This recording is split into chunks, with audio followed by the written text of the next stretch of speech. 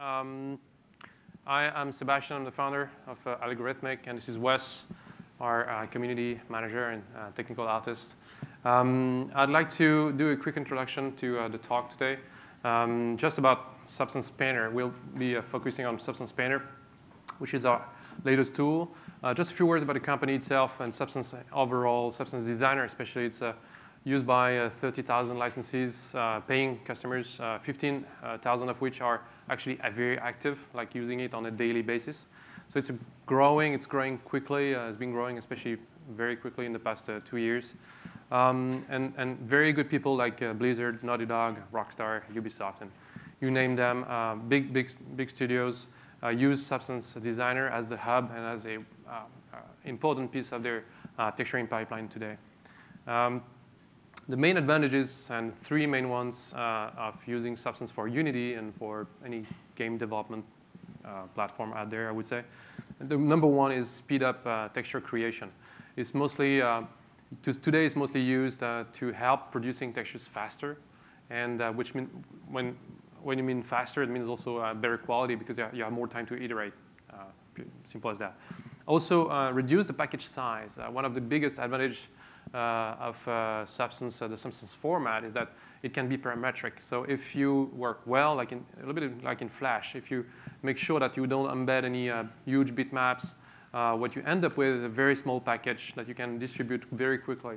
So it, let's say if you have a game that has uh, thousands of textures, uh, instead of downloading something that weighs um, gigabytes sometimes, you download something that is way smaller in megabytes, and then you generate these textures, these bitmap textures on the device. So at install time, load time, or run, even runtime sometimes.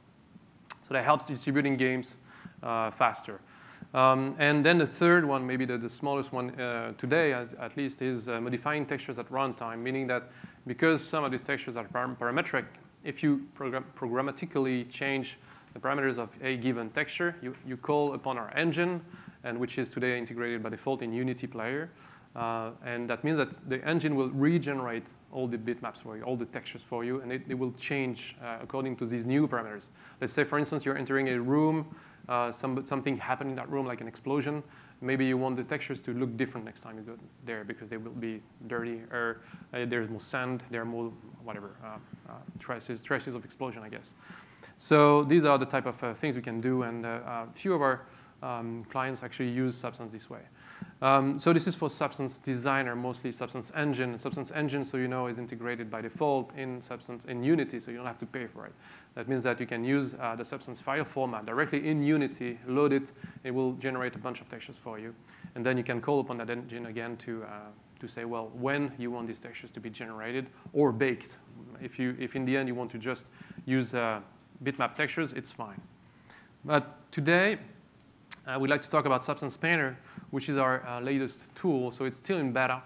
Uh, what you will see is still in beta. We launched the beta in uh, early March this year, and it's been a, it's been a blast. Uh, a lot of people came to us and say, well, this is, uh, well, we've been waiting for this for a long time. hopefully you will see why during the demo. Um, we're very proud of it. It's still early in the development, so it's still missing a lot of features, and we know where it's, where it's going. Uh, and we definitely know where we want it to go. Uh, but uh, yeah, without further ado, I'd like to introduce you to Wes, who is going to do a demo of the tool. All right. I think we have it up and running here. You do? Yeah. Okay, there you go. Okay, hello everyone. Uh, my name is Wes, and uh, I'm just going to kind of run through Substance Painter. And so uh, what I'm actually going to show no, about... It's not showing up there? Oh, it's not. Okay. give us just a second. Do you have to switch something? Hmm. Windows P. Yeah. Windows P? P. Oh, Windows P. Okay. But it should be extend. All right, all right. Works. All right. Thank you. Magical. Okay, so um, what I'm going to show here is Substance Painter, and I'm just kind of going to walk through a demo here. And so we have this ship asset. And so right now, I'm just going to kind of show you how I would just kind of would work through this kind of material section here. And kind of the goal around this is that, you know, there's been a lot of talk with this Unite about Unity 5 and, and uh, physically based shading. And so Substance Designer and Substance Painter both uh, built from the ground up to work uh, to author physically based content. And so what I'm going to show in this demo is how we could work on a piece uh, such as this uh, ship asset here. And we're going to do this uh, in a physically based method. So what I'm going to do right now is I'm just going to turn off our post effects so that we can just kind of see more of just kind of the raw lighting and what we're working with. And like I said, we're going to kind of just work through this asset. And so first thing I'm going to do is just come over to my texture set here, and you can see that this is what I'm going to be working on. So we can break that down through texture set. And uh, I'm going to first go through and just kind of disable uh, these layers here that I'm working with. So make sure we're on the mid side. And there we go. So we kind of have this kind of raw kind of material here that we're going to start working with. Now, one of the core powers of Substance Painter is that we're actually working and painting across full materials. So I'm going to go ahead and just create like a, full, uh, a fill layer here. And uh, actually, I'll start building it this way. So we have this fill layer that I've just added. And so already the, the physically based uh, shading is taking place for me. So I have this fill layer, and one of the things I want to think about is this object as an actual real world entity. So what I want to do is kind of build this up as an actual material. So first thing, I'm going to go ahead and think, well, this is a metal ship. I need to put some raw metal. I'm just going to click one of our paint material presets. And then here you can see that I was able to just quickly fill this entire layer here with an actual like cobalt material. Now, actually, these are presets, so I want to actually go with titanium.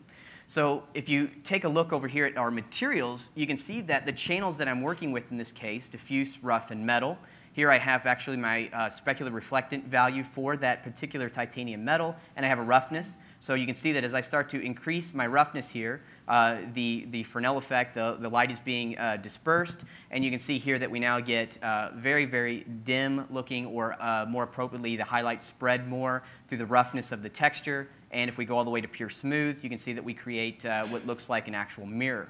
So in this case, I'm just going to pull my roughness up to you know, about this area here, and also you can see that I'm indicating this is full metal. Oh, it's a little dark. Okay. Let me do this. Hold on, guys, just a viewer, second. the viewer setting. Yeah. Click on that. Yeah, I think this guy's sure in our way here. This one wants to be up, so you click on it first.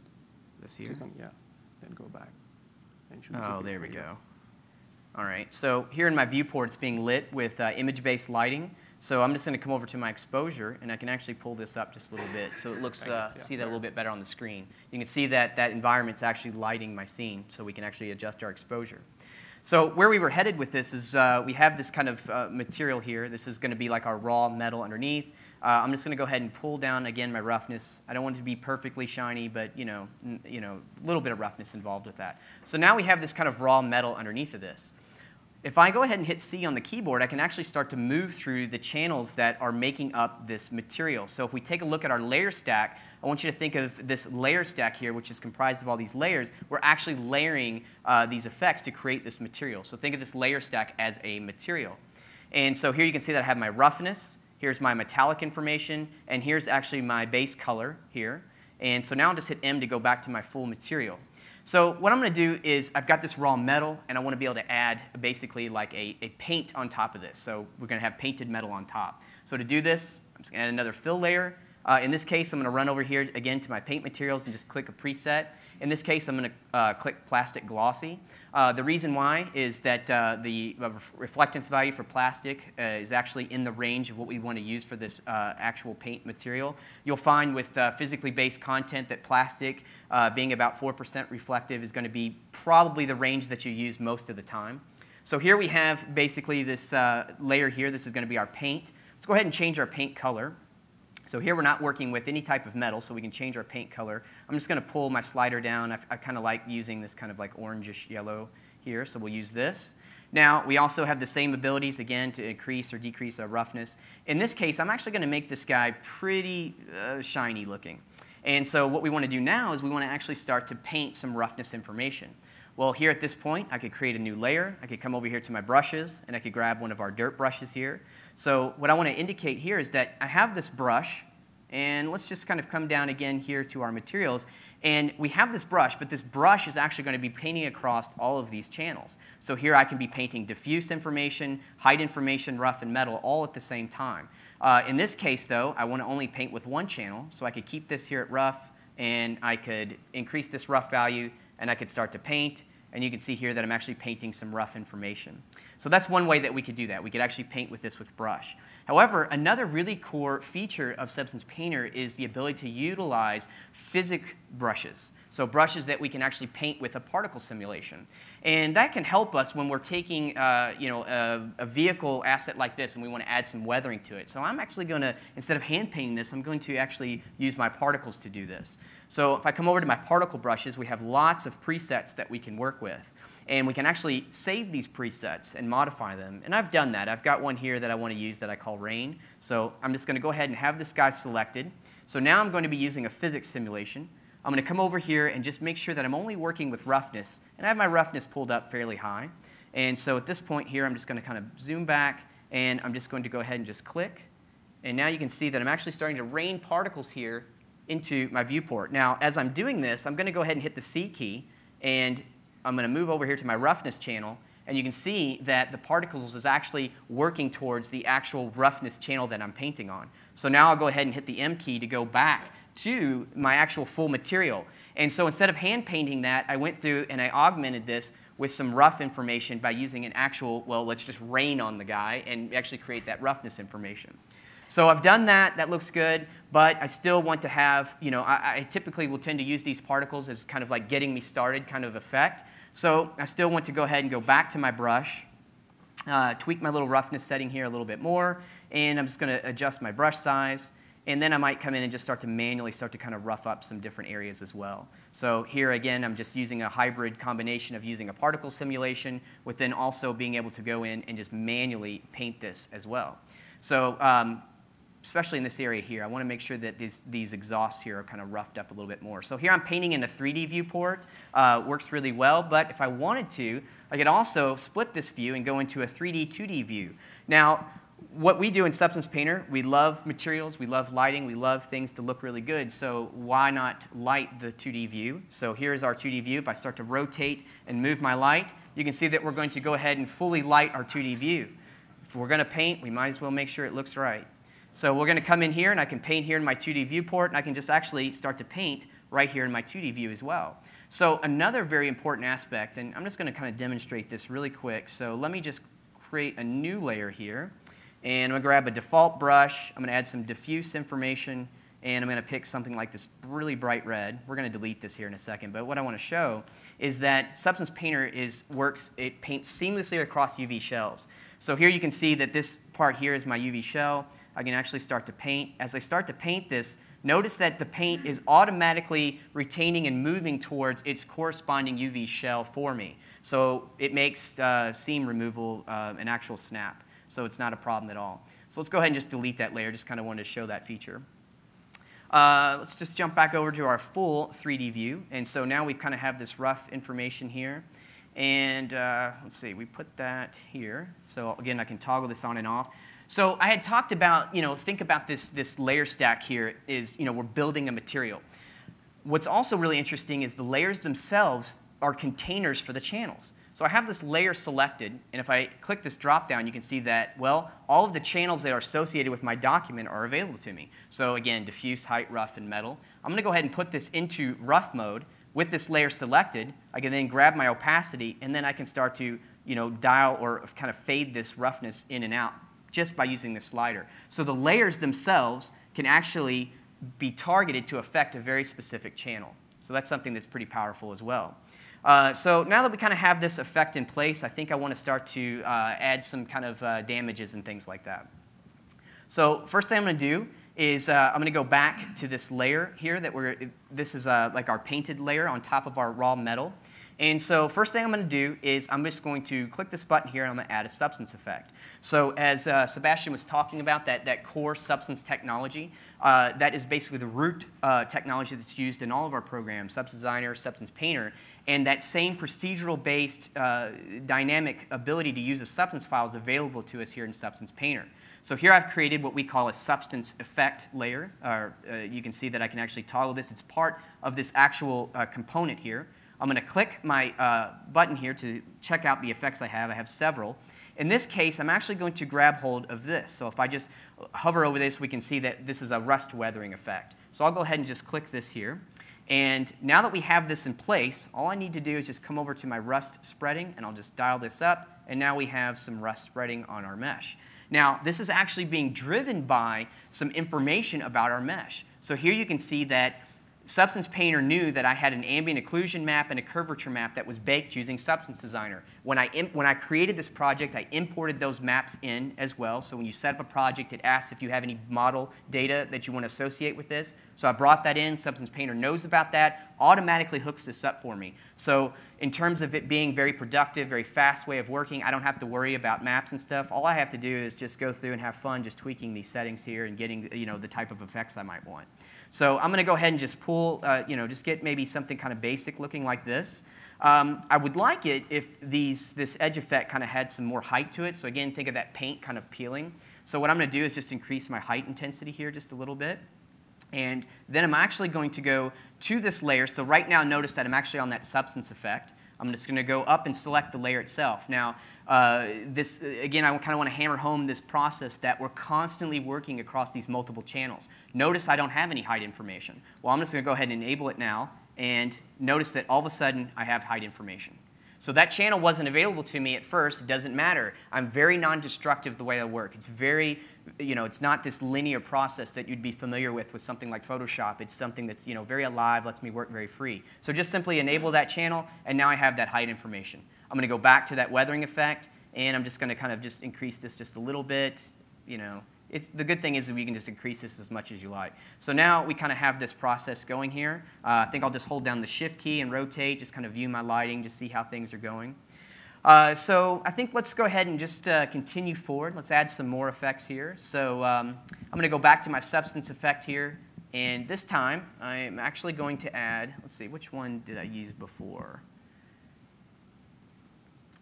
I think, uh, let's see, I think it was uh, grease, this guy It's right up there. here. It's a, no, it's the yellow part.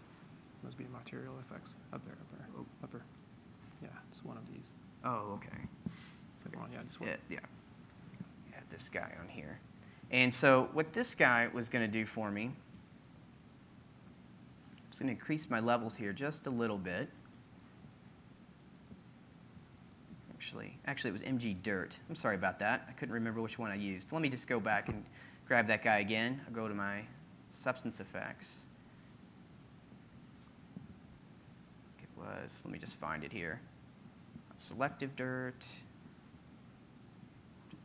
This kind of gives us a good way to kind of just run through these guys and see what we have here. So we have lots of different options. We That's the first one on the left. Up there. Yeah. Here we go, MG Dirt. That's what I'm looking for. So uh, right off the bat, it starts to add this effect here. So what I want to do is, uh, again, notice that it's based off my curvature and ambient occlusion. So again, that mesh data. I'm going to take my luminance value and just move this down quite a bit. And so what I'm actually trying to create here, and uh, it really shows up over here, is we've got this painted metal, or yeah, this kind of painted layer on top of our metal. And if you ever notice that a lot of times with this painted metal, uh, you know, you'll start to see little bumps and, and, and things like that across that painted metal. So this little substance effect allowed me to just quickly add that. So I'm going to just go ahead and just decrease my dirt level, just add this up just a little bit, increase this down, and then just added just a little bit of a secondary effect here for this. So keep this down, pull the levels up, and there we go. So like right here in this area, you can see, and hopefully you can see that there on the screen. Yeah, yeah. We've got these nice little bumps and these uh, little areas right here, those little imperfections that you typically would see when you have like a metal surface and then you paint uh, right on top of that. So it was really easy to add that effect. So, so far, we're just, we're moving right along. And uh, so, you know, this is great. We have our painted metal, we have our rust, but, you know, we have that raw metal underneath. So now what I would like to do is go in and like chip away that raw metal and actually, or excuse me, that painted metal and show that raw metal underneath of it. So to do that, we're going to think about this again like a real world object. We've got paint on top. We want to chip it away. So what I'm going to do is go back to this layer, my painted layer, and uh, I'm going to come over here and I'm going to just mask this. So I'll go in and I'll add a black mask. So right off the bat, you can see that you know, it's making everything transparent we've been working on, and we see that raw metal underneath. So right here underneath this raw metal, we can see that we actually have some of this, rough, uh, a lot of this rough information that we use from the particle effect. So with this mass selected, I can also add a substance effect to that as well. So let's add a substance effect. And let's just scroll down and let's add this one here. I'll just highlight it so you can see it, the metal edge wear damage. So we'll do this here, and it starts to add this effect to me. Now, um, obviously this doesn't look right, so let's just invert this guy. So I'll hit invert, and we'll come over here and add a little bit of a grunge to this. And then just like that, you can see that we were able to add some edge damage across all the edges of our model. So let's do this here. Let's, um, let's increase our grunge mount quite a bit, just so you can kind of get an idea of what that looks like.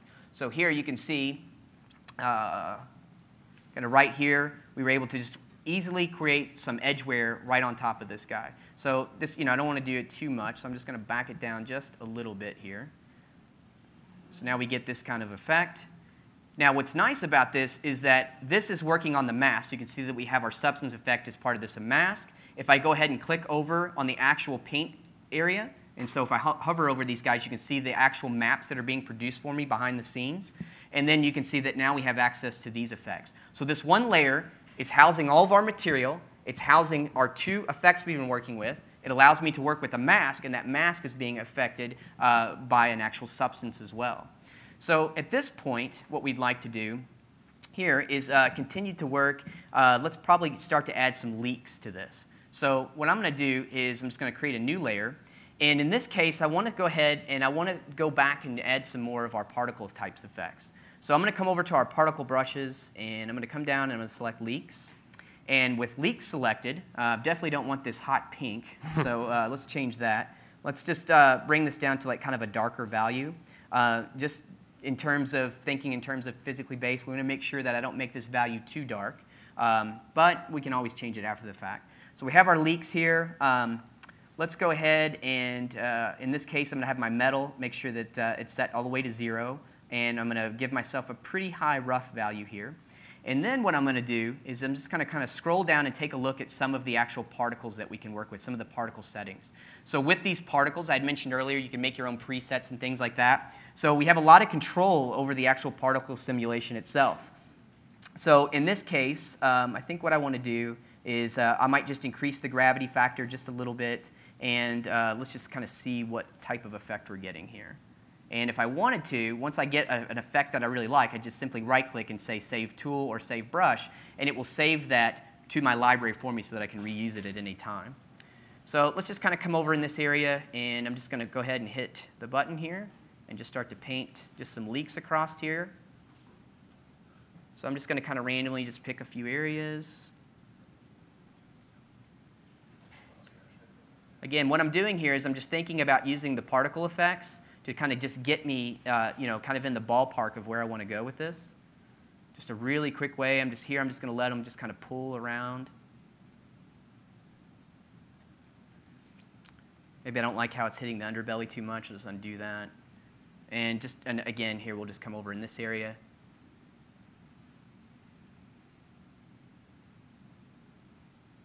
Just letting these guys streak down here. And you can see I can also just move my brush as I stroke. So anyways, I've got a couple uh, leaks here. Um, I'm sorry, it's really addictive. I got to do some more. Actually, we should stop now.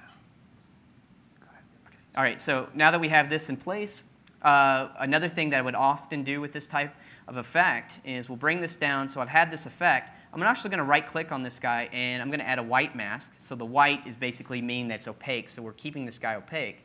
I still have my leaks brush selected, and I'm actually going to, let's see, go through my tool here. I'm going to move up.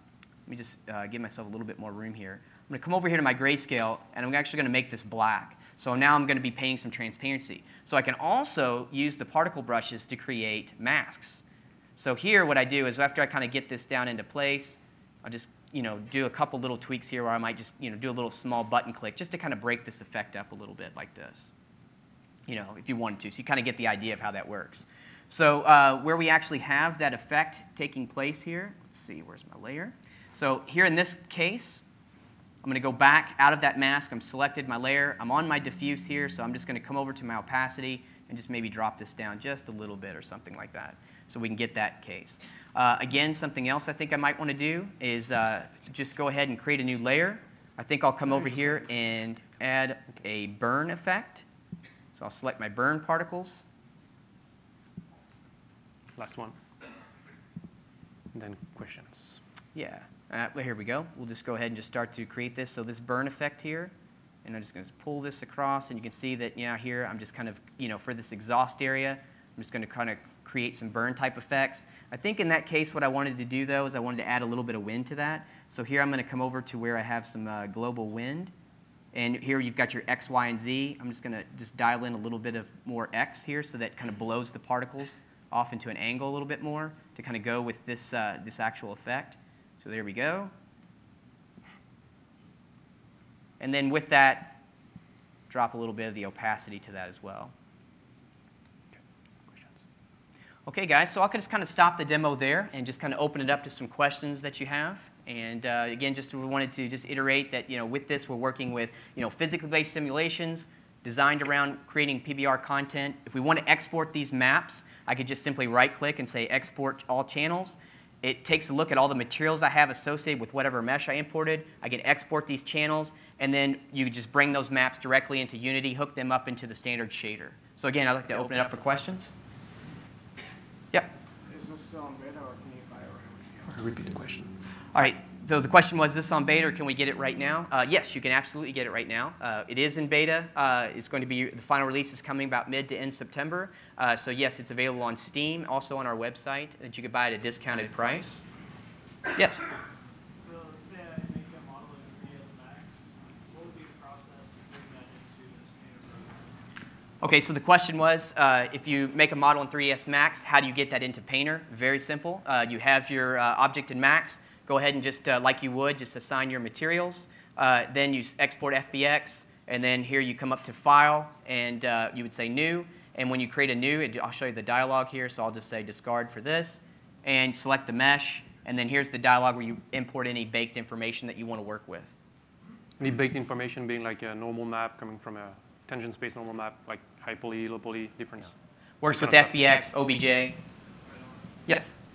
So where are you generating the preset brushes, like the particle brushes, and where are you actually doing ones that you, if you wanted to create a custom, is that in here, or is that actually, design?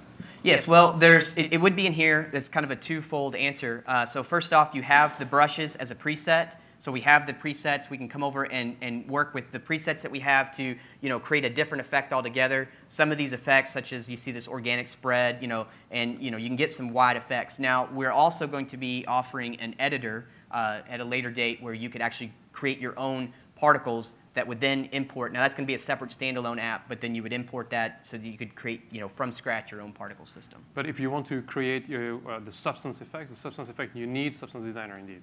The particle effects, you need you, you can start from these ones and tweak them, or edit by hand like the, the scripts. So it's very simple scripts, or use the editor of uh, the third-party developer.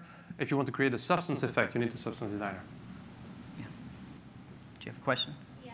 Oh, Um, sorry. So if you make like a really great particle effect in here, can you export your effect out as like a video or something like that? Say you made like a really cool Repeat the image, question. like a sprite sheet or Okay, so the question was, if you create, uh, you know, a particle effect in Substance Painter, can you export that out? And uh, no, you cannot. Not for now. Sorry, not for now, but Yeah, we've been asked that Yes. a lot. Yeah, you had a Sorry, question. you had a question. Uh, so when you showed the substance design the other day, you showed me sort of a high low poly workflow where you can use the high poly mesh to create normal maps yes. and apply this to low poly. Can you do the same thing in Painter, or do you need both programs? All right. So the question was, uh, with Substance Designer, you can bake the high and low poly. Can you do that in Substance Painter? Uh, no, you can't. You would need Substance Designer to do that. Um, yes. Question. Uh, So this, this obviously is like a really good tool geared towards uh, editing 3D models and 3D painting. Uh, Are there any specific tools to, that help you um, create tileable textures, like flat planes and, you know? Okay, so the question was, uh, it's good. Looks like it's good for you know one-to-one 3D work. Uh, can it be used to create tiling as well? And the answer to that is yes. Um, just a, a, a quick explanation of that. If I were to come into my 2D view, I showed earlier in the demo that you can paint across your UV shells, and it tiles, or basically it moves from one uh, you know UV shell or where those uh, edges are continuous. So the discontinuous edges meet up. So if you were to just bring in a plane, say you had a plane that you wanted to actually create uh, some tileable type uh, imagery with that, uh, you had your plane. If your plane edges, they meet around the uh, zero to one space as you start to paint. So basically, if I move my brush and I paint across this side, the brush stroke will continue on the other side. So you can use that to create you know, little tile maps and things like that. I Guess Yes. last, last question, I guess. Uh, is 8K texture support on the roadmap at all yet? Uh, so the question is, is 8K texture support on the roadmap? Yes, yes it is. 4K will be like uh, end of next month, 4K support. It's already in there. I mean, you can export in 4K. Uh, we have internal builds that do that. But we want it to be able to work at 4K as well. So uh, it's a different story. 8K is, uh, again, different story. Uh, you need a big GPU, beefed up GPU. We, all, we do everything in GPU, so it's a matter of VRAM and uh, strong enough GPU. It will come, yeah, eventually. So I guess, I guess, sorry, maybe uh, you can jump. Yeah. Yes. Uh, we don't want to take too much of time. Uh, I want to just go back very quickly because I'm the CEO here, so I need to make money somehow. So here's so that's the, the latest um, uh, slide I wanted to show you. Uh, during uh, Unite, uh, we uh, introduced a, a, a discount. So if you're interested, uh, come, you, you can use it, tweet it, uh, take a photo of it, and um, uh, yeah, benefit from it. So the Indie pack and the Pro pack. So basically, there are two licenses, Indie and Pro. Uh, Indie means like if you're a studio that does less than ten thousand dollars per uh, year, you are considered Indie. Above uh, that, you are considered Pro. So uh, and the pack means Substance Designer plus Substance Painter, plus Bitmap material plus uh, some content. So it's a, it's a good deal. All right, thank you guys. Thanks, everybody.